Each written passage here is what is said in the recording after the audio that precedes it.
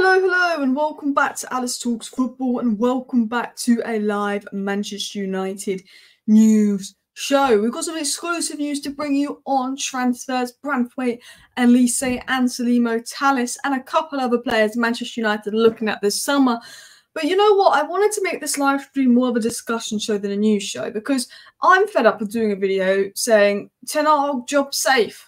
Ten Hag next video. Ten Hag like to be sacked.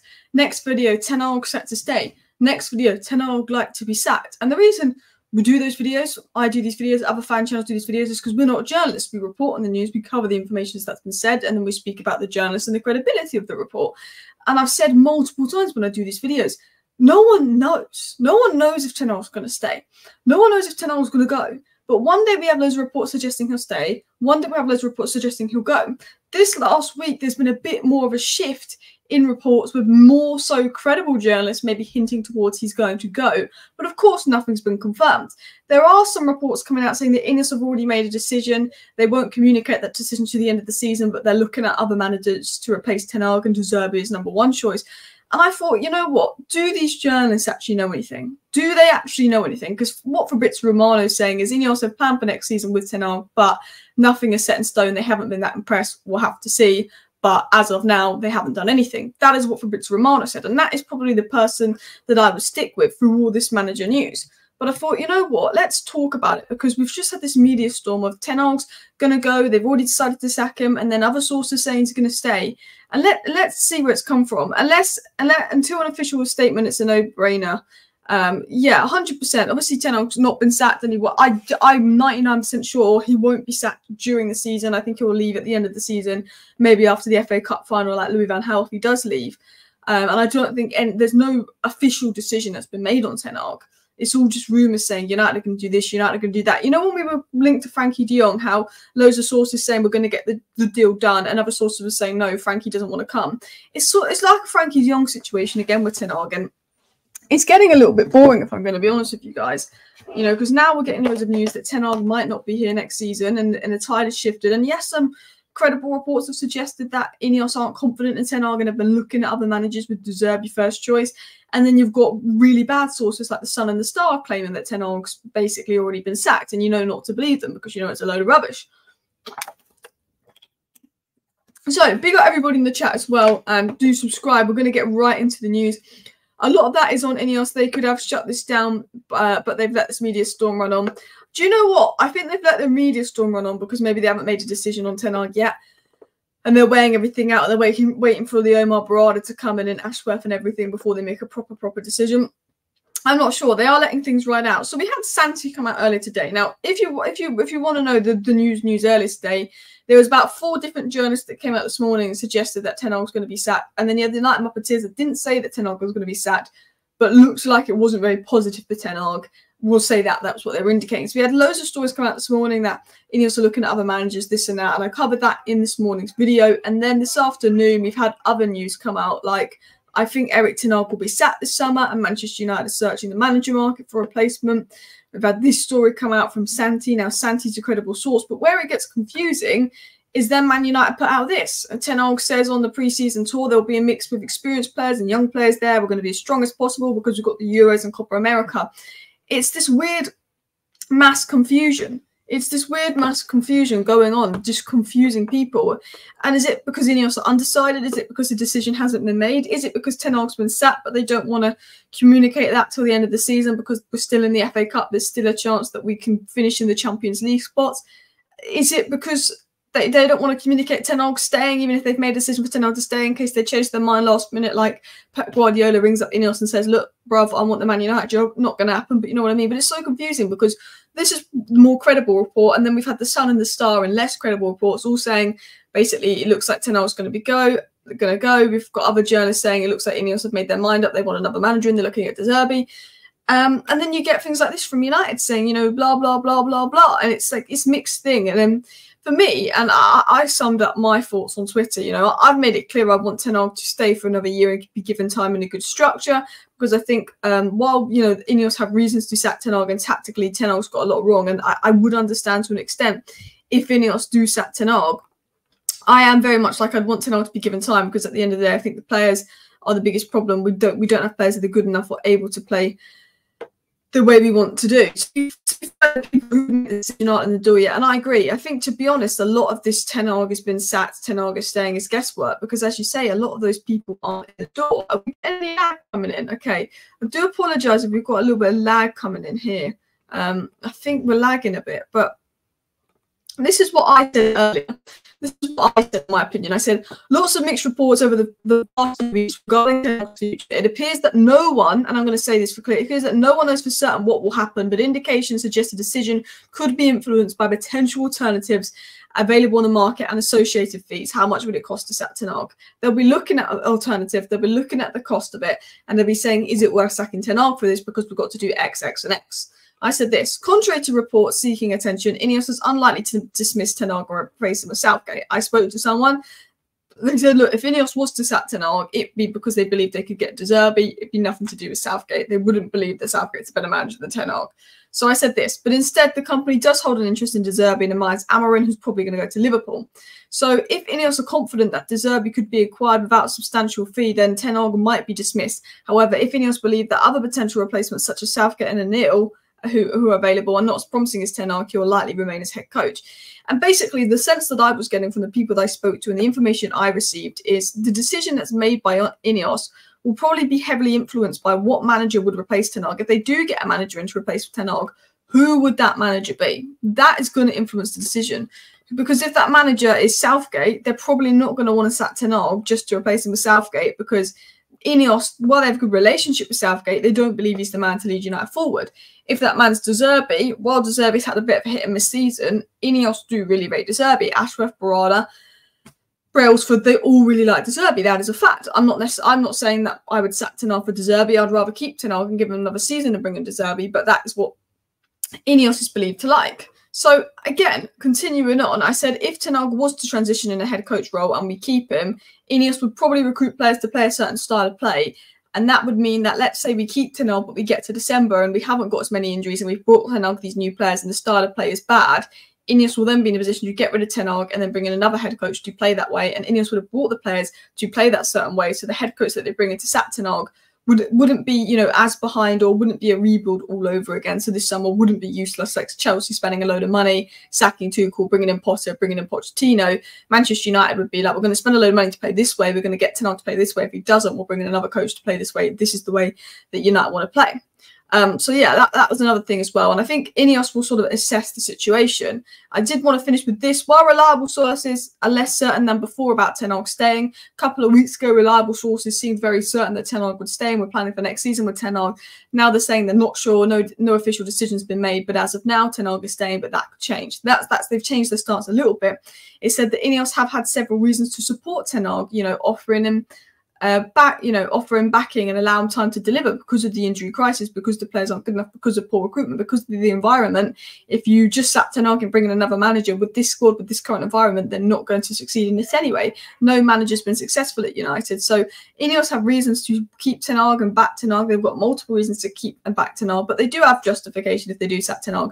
I don't want Ten Hag to be sacked. I want Ten Hag to stay. I believe that Ten Hag could be successful at Manchester United, but they have reasons to sack him because the performances, the Brentford performance was not good enough. We got a 2 2 draw to Liverpool, but we are being dominated worse than Sheffield United have been dominated this season in some games as well.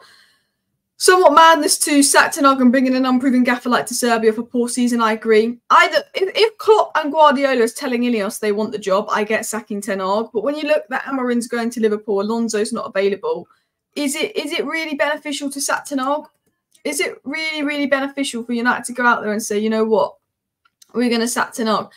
Probably not. I think unless you know you're getting a top, top class manager, I wouldn't sack Ten Hag. I would only sack Ten Hag for a Pep Guardiola, Jurgen Klopp-esque manager because he's two years into his rebuild. He's obviously had a lot of setbacks in his current rebuild this year because of just all the injuries and all the issues that's gone on. Manchester United have played what 39 different lineups in in 43 different games. We've had probably some of the worst injury setbacks in the league, and I'd like to see what he does with proper recruitment, proper structure around him. So I do agree to the to the extent and, and the feeling that maybe we should be more generous on Ten Hag and, and, give Ten Hag some time to prove himself. I get if a world class manager is available doing it, But if a world class manager isn't available, do we want to take the risk and go for De Zerbi, as Alex said, who's who's unproven and, and off the back of quite a poor season as well? Ineos and numpties if they get De Zerbi in, uh, says David. Guys, please do that like button. Of course, subscribe down below if you're new and share the video. I want to get into a few other stories because I've actually got some exclusive on the transfer front as well that I want to dive into because this isn't going to be a crazy long live stream, but I want to get into some exclusive news.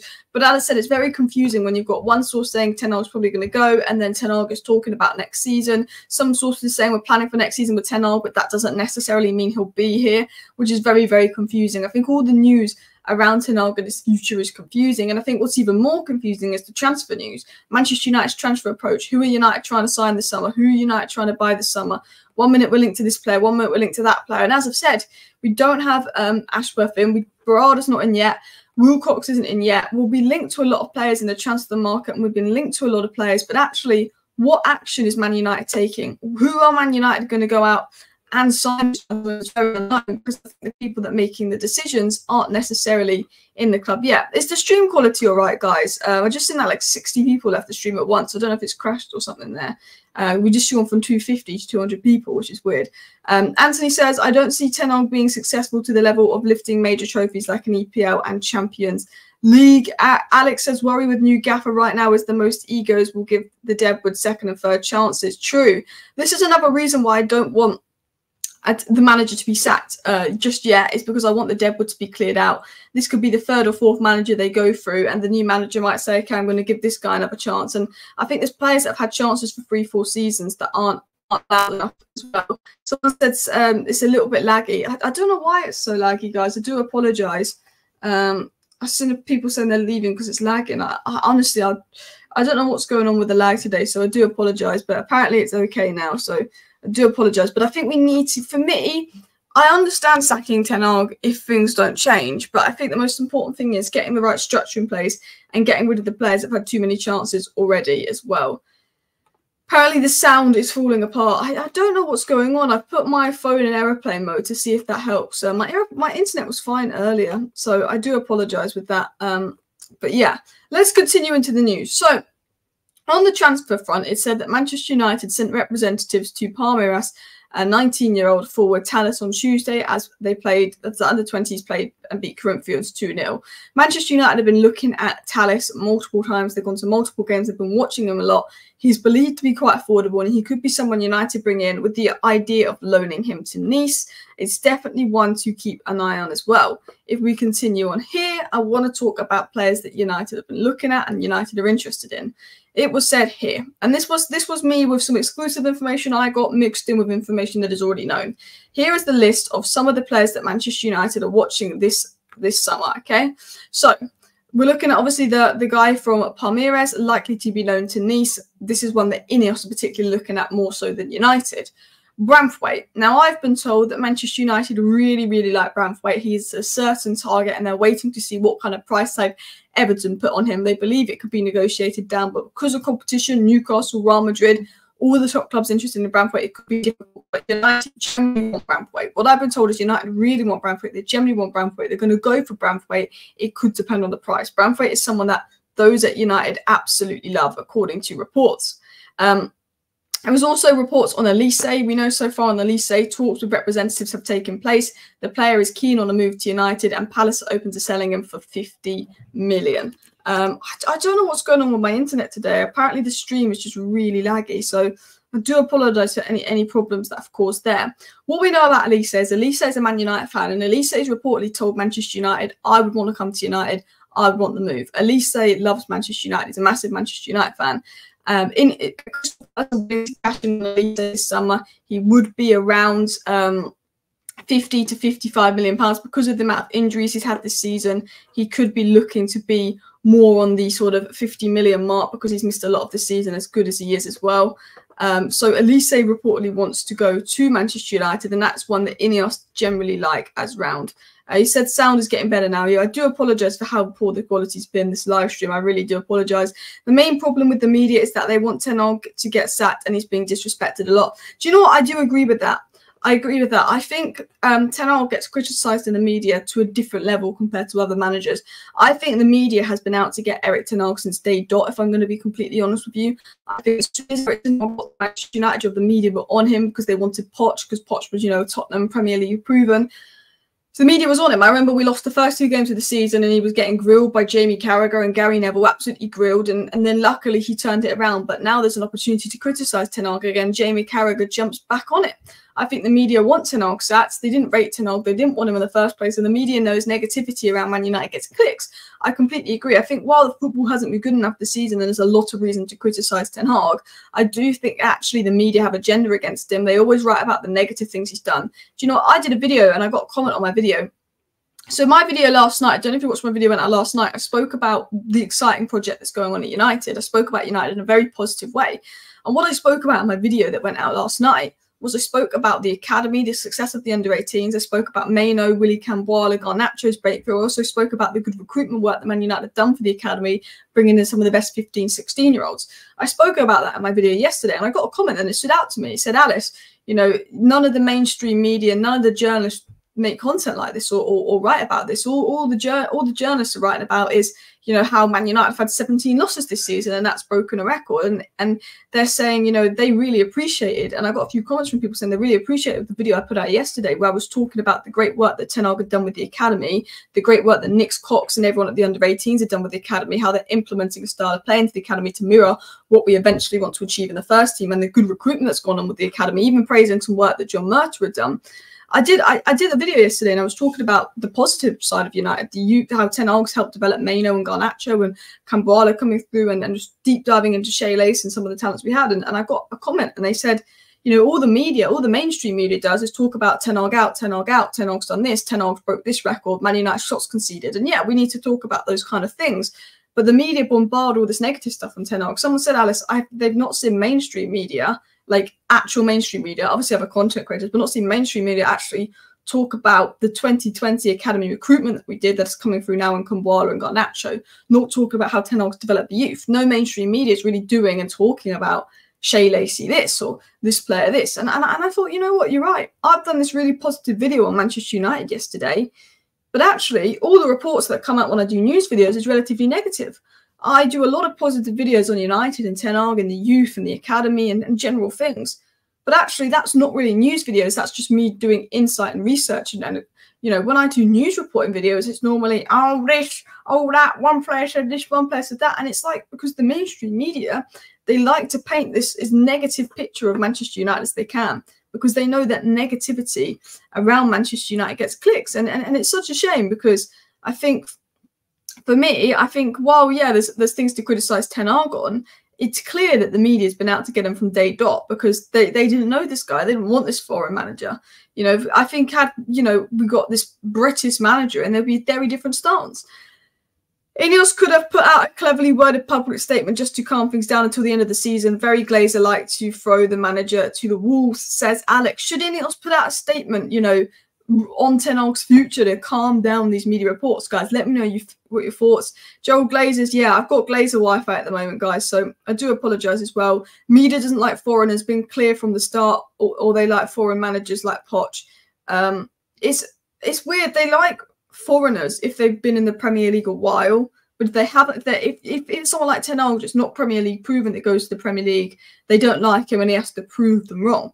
Because I'm going to use this as an example I remember, I look at Manchester United. McTominay had loads, loads of crap games in that season with Ollie. And McTominay was playing regularly, and there wasn't much media criticism of him. Paul Pogba, yes, he's a 100 million player. You expect more from Paul Pogba. He had some crap games, but he also had some good games. But if Paul Pogba had a crap game, the media would be going off on one. And I get that. You've got high expectations from Paul Pogba. But it was like, you know, Paul Pogba and Martial sort of where was where all the media attention was. Whenever we'd lose a couple seasons ago under Ollie, and Pogba and Martial weren't good enough, but they were the two scapegoats. You know, they were the two scapegoats, and I and I and, and this is the reason. And people blame Bruno a lot for stuff going on the season, but this is the reason I stick up for Bruno Fernandes. A lot of you guys watching want Bruno Fernandes gone, you want Bruno drop, but I don't think people actually appreciate how hard Bruno works for the team and how we if we drop him, maybe Mount can play in his role now, Mount's back. But in the past, if we drop Bruno, Eriksen's playing there, and Eriksen's not going to do any better than Bruno. A lot of our goals that have come is from Bruno's pressing, Bruno's work rate. Bruno's frustrating. Bruno hasn't been good enough this season, but he's becoming the new Pogba. Where I think a couple years ago, everyone thought, okay, if we drop Martial, if we drop Pogba, all our problems will be solved. Martial and Pogba don't play anymore, problems aren't solved. Last season, so many people were in on De Gea, get rid of De Gea, get rid of De Gea, get rid of De Gea. As soon as you get rid of the goalkeeper, we can actually start playing good football. De Gea's gone, we're not playing good football. Ronaldo's the problem, Ronaldo's the problem, Ronaldo's the problem. Ronaldo's gone, we're not playing good football. Pogba was the problem. Martial was the problem. Ronaldo was the problem. De Gea was the problem. None of those people play for United. Obviously, Martial's technically, but none of them play for United anymore. We've still got problems. McFred's the problem. He's not played McFred since his first game uh, versus Brighton. You know, now Bruno's the problem. It's actually like, no, the problem is this club has about 50 problems and we're so used to blaming it on one. The media now will be writing reports on this player and that player and, it's, and writing reports on Ten Hag. Ten Hag is what the media are writing reports on, like Pogba was the problem, like De Gea was the problem. The media now writing reports on Ten Hag. Watch Ten Hag go and things will get better next season if nothing else changes. You've got 50 problems. It's not you remove Ten Hag, problem solved. It's not you remove Bruno, problem solved. Because we removed De Gea, problem ain't solved. We remove Ronaldo, problem ain't solved. And I'm not saying De Gea and Ronaldo were the problem, but if you've been active in the United community online for so much time, how many people were thinking that Ronaldo was the problem and that's why things went wrong under Ole? How many people blamed Ronaldo even though he got 20 goals that season saying he's the problem? How many people blamed De Gea saying he's the problem? And while, yes, De Gea and Ronaldo were not in the long-term vision of Manchester United, which is completely understandable, we got rid of those two. We still got problems. It's not oh, you take one or two players out, it'll be six. It's not you drop Bruno and Rashford and we're going to be good again. No, we don't have the players available. We need to have sign good players. So actually, if we do drop Bruno and Rashford, players that are better than Bruno and Rashford can go in their spot and give them serious competition. Because if you drop Rashford, Antony's there. Antony's had one or two good games, but is he better than Rashford? No. If you drop Bruno, maybe Mount can play now, but he's not proven yet. You need to sign players that are good and they need to get the deadwood out for me, it's about getting rid of Amrabat, it's getting rid of Eriksen, it's getting rid of Lindelof, it's getting rid of Wan-Bissaka, it's getting rid of Sancho. They're the players you want to get rid of. Then you bring in good new players, and those good new players might be so good that it pushes a Bruno Fernandes on the bench. Because I don't, I think Bruno Fernandes, in my opinion, is, is, is arguably United's best player, and I think Rashford, if he's in form, can be one of United's best players. I think he's really good. Those players are out of form. They need genuine competition to help them get back in form. So if they're out of form, we're not so heavily reliant on them we this season have capitulated because Bruno and Rashford are out of form and we were so heavily reliant on them last season. We need to stop that reliance on them. We need to get better people in so we could afford to put them on the bench. But we don't, I don't think we need to sell Bruno. I don't think we need to. Maybe if you get a big offer for Rashford, you maybe think about it. I, I think we need to sell 10 players that aren't even good enough to get in our starting lineup, replace them with better players, and then that pushes some of the players that are in our best starting lineup now to become bench players to generally improve the squad. That That's my opinion. And it it's a little bit unpopular, but that that's always been my stance on it. I think we need to get over this. This this person's the problem. That person's the problem as well.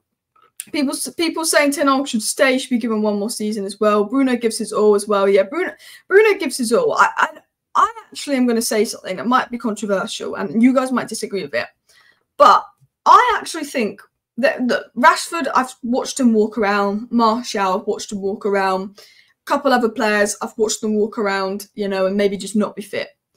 But the main bulk of Manchester United, I do think, is given 100% this season. I think Diogo Dalot's given 100% this season. I think Onana is given 100% this season. I think Maguire, when he's played, is given 100% this season. I think Kambwala gave 100% when he's played. Evans and Varane have given 100% this season. Diogo Dalot's definitely given 100% this season. Um, I think Mainoo's given 100%. I think Bruno Fernandes gives a million percent every game. He never stops running, even when he's got one leg. Um, look, Tominay's given 100% this season. Garnacho's probably given 10 million percent this season. Like that, I don't. I'm, Garnacho runs way more than people get credit. Garnacho's probably given 10 million percent this season. Even Antony, when he's played, even though he's been crap, he's been given 100%. Højlund gives 100% the main bulk, and maybe this is unpopular, but the main bulk of the United players, I do think give 100% for the manager. I do actually, and I've always been very critical of United, saying these these players don't try, these players don't run. There's a couple of players that I don't think are given 100% this season, but I do think the main bulk of the squad, I've I think the work rate's been there. I just think they've not. I just think some of them aren't good enough, and I think there's other players that haven't been working as hard that bring the team down because you've got you need all eleven players to be working hard, not one or two. But I I do weirdly think there's a lot of players that are given 100 percent this season as well. Another hot take: Maguire's been better than Varane this season based on Maguire's limited capabilities, and yet fair, been fairly good. I think Varane's been really good when he's played though. Um, so I think that's a difficult one. I think both Maguire and Varane, when they've played, have been good as well. Um, we still need Bruno on that team. Um, only bring competition so he can rest. But I would sell Rashford, said Anthony, which is fair enough. I'd keep Bruno and Rashford myself, which a lot of people dis- disagree with. But if I had to sell one, I'd sell Rashford. I think Bruno, why had an off season and why we need competition for Bruno. I think Bruno gives so much effort. I think there is a quality player, and Bruno has not quite been on it this season. But then he goes to Portugal and he's putting in world class performances, and then he comes back to United and it's meh. Is Bruno crap because of the system at United and the players around him?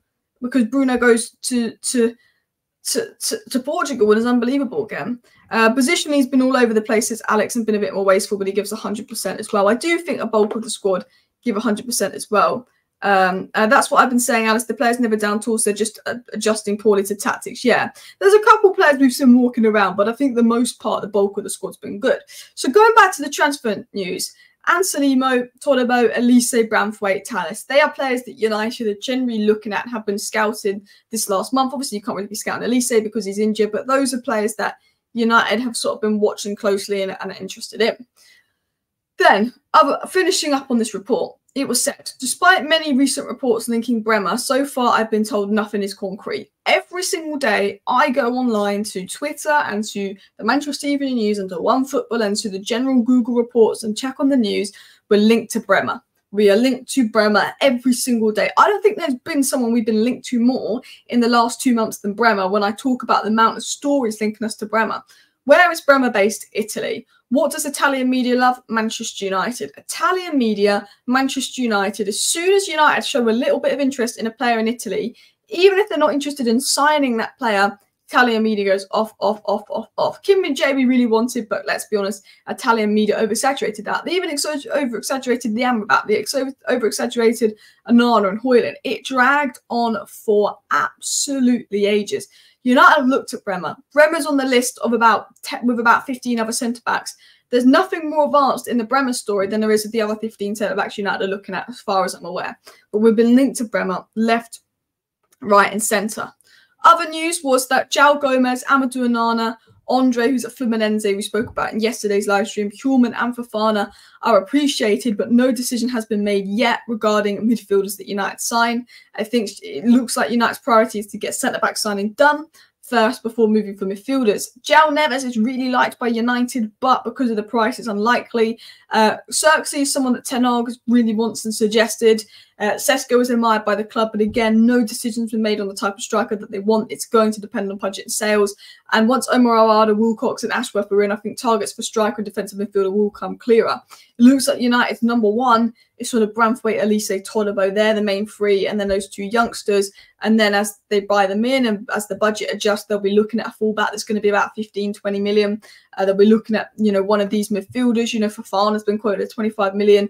Hjulmand's been quoted 30 million. João Gomes has been quoted 30 million. They might go for cheaper alternatives to Amadou Onana. They might look at a Zirkzee, uh, but nothing is concrete in terms of what United are looking at. And that's sort of the latest, more so on the transfer front as well. Uh, Maguire has the work rate and commitment. I would keep him and cash in. Rashford says Anthony. I have been impressed with Maguire this season, but the one thing about Maguire is he's normally has really good availability.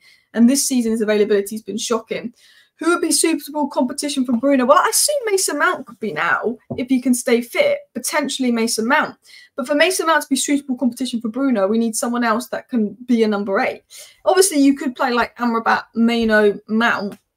But I think it's a bit early. But I think realistically, you, we need two midfielders. We need a more advanced midfielder and we need more of a DM. Because uh, I do think Mason Mount is better as a 10. Um, so I think Mason Mount could generally become good competition for Bruno. But Ten Hag wants Mason Mount to play deeper. So it's interesting there. Um, but it will be interesting to see how Mason Mount develops at United. Because I think Ten Hag wants to play him with Bruno, which is the big question mark. Can Mount and Bruno play together? That's the big question mark. As Gas says, guys, please do hit that like button and, of course, subscribe down below if you're new. Uh, Bremer's been amazing. Would you guys take Bremer at Manchester United? Do let me know in the chat. Hansen Aarons would be the perfect Bruno replacement. He's the next Kevin De Bruyne. I mean, he's a talented player, but he's left the club, and we'll see how he develops. Talking, talking of who's been good, Angel Gomes, guys. Angel Gomes, man, has been unbelievable at Lille this season. I think Southgate will overlook him. But Angel Gomes has been special. And, and we, you know, we had Andreas Pereira and Lingard stinking up every week, and Ollie just didn't, Ollie just didn't take that thing on Angel Gomes, which is a shame because I always thought I understand why he left, but I always thought we should have been given we should have given Angel Gomes a chance. I just remember watching Lingard and Pereira stink up the pace and I thought, please, please, Ollie, just play. Angel Gomes, please. Uh, but he never played him. But uh, the Lille manager actually spoke out to talk about Angel Gomes, And he said, Angel is maybe the most intelligent player I have in this team. He's young and he's a big talent. What we're missing right now is player IQ, decision making, and someone that's good tactically. Mainoo has a good IQ. He's good tactically. He's been great. But we lack that in the United squad. We lack player intelligence in the United squad. We lack physically, we lack athletically, we lack technically, and we also lack player intelligence in the United squad. And, you know, while I don't know if James Garner and Angel Gomes would be Premier League winning level, I do think right now, but I'd rather see Angel, I'd, ra- I'd like to see Angel Gomes and, and, and James Garner being involved at United. I think James Garner probably will be a sort of top six Premier League player, but probably not a title winning player. But he's probably better than what we've got right now. But Angel Gomes, he has potential to be top top player, and he's been unbelievable at Lille. And he might not necessarily be good enough for United, but based off how well he's played this season, he's looked really good. And I actually sometimes think, did we sell Angel Gomes and, and James Garner and you know too early? Even Teden Mengi's been good at Luton. I get selling them and all of that. Obviously, we let Angel Gomes go for free, but I always wish that we'd just given these players a little bit of a chance to see to see what happens with them. Uh, but I'm really glad Angel Gomes is doing well. But his his IQ this season has been massively praised. Stop this different manager talk. We stopped talking about that half an hour ago. We just spoke about the manager situation the first 10 minutes of the video. Um, Alice, what's my lineup versus Bournemouth? Um, it depends who's fit. Um, it might have to if Kambwala and if, if Varane is fit, I'd play Varane, but I don't think he will be. It probably going to be Kambwala and Evans, Kambwala and uh, Maguire because they're the only two fit centre backs. If Evans and Varane are fit, I'd play them, but I don't know. So I'd probably go Kambwala, Maguire because they're only two fit centre backs. Obviously, Onana, Dalot, and Wan-Bissaka because that's our only fit back line. Um, I'd go Amrabat, Mainoo, Bruno. I would then go Rashford, Højlund, Garnacho. If Rashford's having a stinker, bring on Antony. Potentially bring on Mount with, but I want to see Mount come on in the 60th minute, not the 82nd minute. I want to. I think Mount. I don't know if he's ready to play 90 minutes yet, but I, I want to see him get like a half, maybe even even 45 minutes. Um, strong DMs needed badly. I said this before. I think Man United's number one transfer target should be a strong DM. I, I really do. I they seem to prioritise centre back and stuff, which we do need. The thing is, we need so many positions, but we cannot neglect DM. I think there's been four or five transfer windows in the last seven transfer windows where I think DM should be a priority. And I, I look at Man United, I think we really need a DM signing. And United have completely neglected it and, and not gone out or made any efforts to sign a DM. I mean, I and I think that's a position that we continually neglect at United. And I think we need to stop doing that. I think we really need to stop doing that. I think we need to go out and find a top DM as well. But that's somewhere we we Donny's still at United. Yeah, I think he will leave this summer. Uh, I don't know about Bremer. He's on the list, but there's nothing concrete.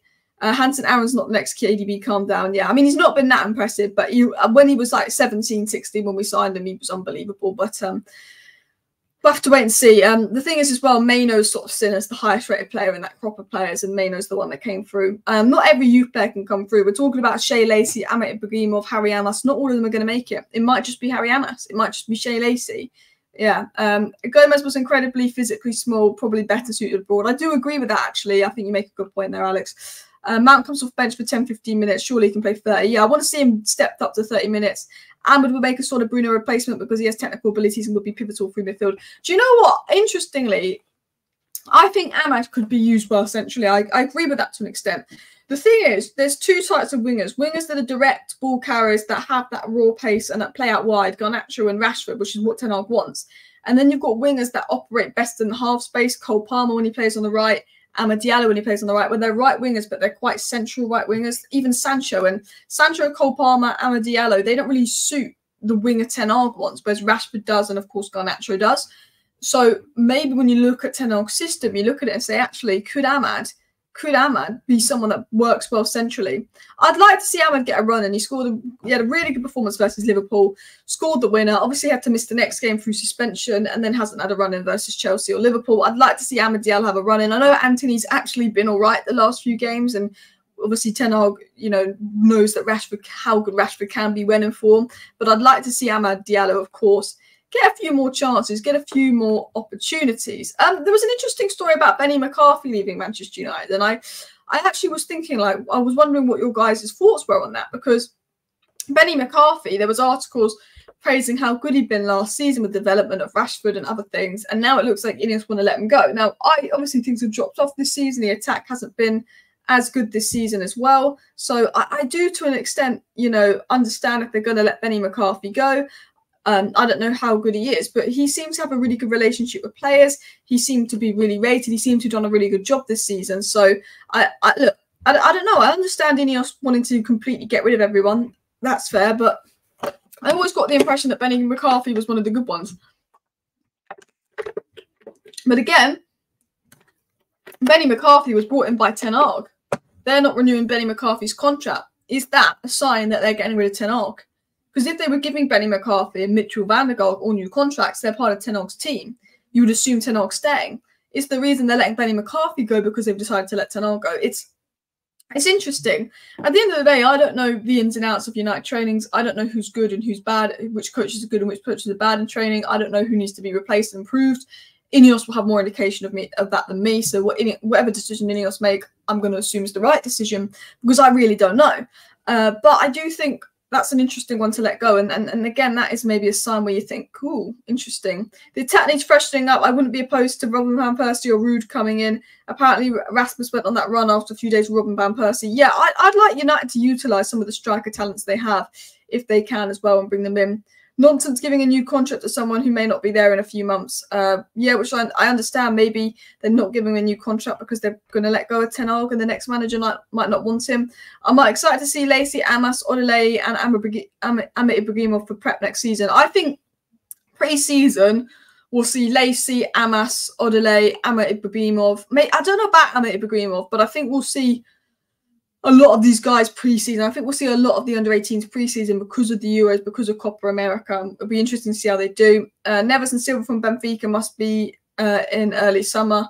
Uh, I also welcome Nouri and Kilman, Todibo and Toney. We have six players straight into the team. I mean, I don't think that will be um, affordable um, because 80 million each for Silva, Silva and uh, João Neves, as good as they are, they will be very, very expensive. Uh, Todibo's class. Toney apparently 40 million. Ivan Toney 40 million. The thing is, Ivan Toney isn't my first choice, but if he gets to 40 million pounds, then I start thinking, hmm, hmm, 40 million. I would like Zirkzee or Sesko, just attitude wise, younger, more of a long term project. But Ivan Toney, we know how good he is. He's Premier League proven. When when you're hearing 40 million for Ivan Toney, you do think, hmm, hmm, now that could be the one. That could be the one. Um, Richard says this. I believe we should give Erik Ten Hag time because I think the managers are not the problem, but the structure and some of the players uh, are. I agree. Uh, we've sat Joseph Van Gaal and Ollie, and, we're still, and our situation hasn't changed. And I completely agree with you, Richard. I understand why people want Ten Hag sacked because the football has been appalling.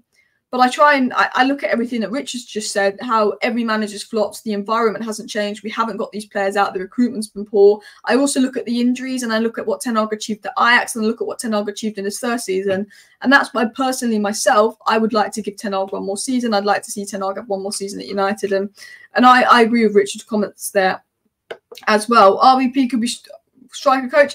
Did Robert Van Persie just get a job or was that me? Was that me um misreading it wrong because I thought I heard something about Robin van Persie getting a job somewhere, but maybe, maybe I'm reading that wrong. I feel like he got a coaching job, just got a coaching job somewhere else, uh, unless I'm getting mixed up with someone else. But listen, people, please do hit that like button if you have not already, and of course subscribe down below to Alice Talks Football if you're new. The point of this live stream was more of a discussion live stream than a news live stream where I've got everyone's thoughts in the chat because there's been a lot of news coming out today suggesting, you know, Ineos have already made a decision and Ten Hag will go and they're looking at alternatives, which, you know, it's sort of been a lot more news lately about Ten Hag going, but it's not come from a Romano, it's not come from an Ornstein, there hasn't been a club statement. So it's a little bit probably BS news. I think the news that Ineos have made a decision is BS and guesswork. But the question is, where's it coming from? Is there a feeling within the club that Ten Hag's not going to be here? Where's this news coming from? That was sort of the talking point of today's show, followed by transfer news, followed by the media agenda followed by more as well. Um, I still blame the squad and recruitment most so. That's the common denominator in the post Alex Ferguson era. I agree. Ten Hag getting things wrong. Ten Hag needs to improve things, but 100%. But listen, people, please do the like button on the way out. Of course, subscribe down below if you're new. Big up everyone for tuning in. Big up everyone for the positive comments as well. Uh, I'm just going to get to this one last comment here. If Ratcliffe sacks Ten Hag, then two things happen. One, once again, power remains, and in two years' time, we'll be having the same damn conversation. I think if I think depends if if Ratcliffe and, and, and Brailsford and obviously Omar Berrada and, and, Dan Ashworth's different. The change there might mean that recruitment will be better under the next manager if we sack Ten Hag. But for the most part, I think if you sack Ten Hag and you don't change anything else, we'll be in the same situation two years later. I think it's you've got to change the recruitment structure. You've got to get rid of the players make those changes first and then you assess the manager is it working with the manager? But i to an extent i agree. I think sacking the manager right now if you if you sat Ten Hag and you bring in an Nagelsmann right now not much is going to change unless you actually sort out this squad and and other things as well and the environment. But big up everybody. Thank you for watching. See you next time. Bye